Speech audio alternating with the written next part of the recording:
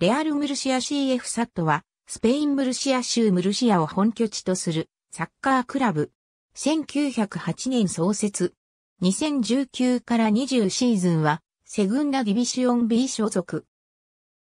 セグンダディビシオン最多優勝記録を持つクラブである。1903年に設立された FC ムルシアと1906年に設立されたムルシア FC も前身のクラブと言えるが、後にレアル・ムルシアとなるクラブは公式には1908年に設立され、1923から24シーズンにアルフォンソ13世によって現名称に変更された。1924年にはエスタディオ・デ・ラ・コンドミーナが開場し、82年間途切れることなくラ・コンドミーナを使用し続けた。現在のホームスタジアムはエスタディオ・ヌエバ・コンドミーナである。ヌエバ・コンドミーナは2006年から使用し始めた。現在、ラ・コンドミーナは、キャム・ムルシアが使用していて、そのこともあり、クラブのサポーターは、キャム・ムルシアの躍進を嫌っている。セグンダ・ディビシオンで、これまで8回優勝しており、最多優勝記録となっている。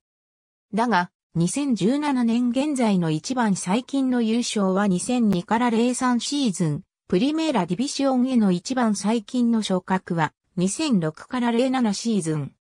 それも1年で降格しており、2017年現在は、セグンダディビション B に4年連続で在籍しており、2016から17シーズンまで3期連続で、グループ2位で、昇格プレーオフ敗退という記録が続いた。ユニフォームサプライヤーはアンブロ。1929年に、初めて、テルセーラディビシオンに所属し、1939から40シーズンに初めてプリメーラディビシオンに到達した。その後は大半の期間をセグンダディビシオンで過ごし、テルセーラやセグンダディビシオン B に短期間所属することもあったものの、1980年にはプリメーラ再昇格を果たした。1990年代には短期間テルセーラに所属することもあったが、主にセグンダに所属した。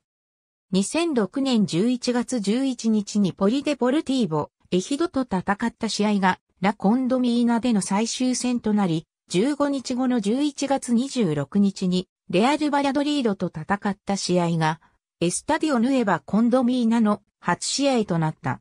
2007から08シーズンはまずまずのスタートを切り、2008年初頭には順位表の注意に位置していた。ルーカス・アルカラス監督からかつてスペイン代表を指揮したハビエル・クレメンテ監督に交代して降格を回避した。2008から09シーズンは序盤から降格圏内に低迷し、2008年12月中旬にクレメンテ監督が解任された。ピメントネロスは結局セグンダ残留を果たしたが、2009から10シーズン終了後にセグンダディビシオン B 降格となった。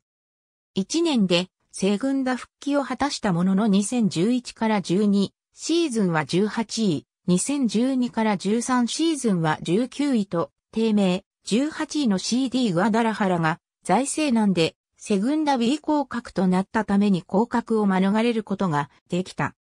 前シーズンから一転して好調、4位につけ昇格プレーオフにも出場したが7位のコルドバ CF に敗れた。しかしその後財政難が発覚しセグンダ B への降格処分が下されてしまった。ユニフォームサプライヤーがアンブロへ変わった。マノロ・サンルカールが監督に就任。2017から18シーズンまで中、選手の国籍表記は FIFA の定めた代表資格ルールに基づく。ありがとうございます。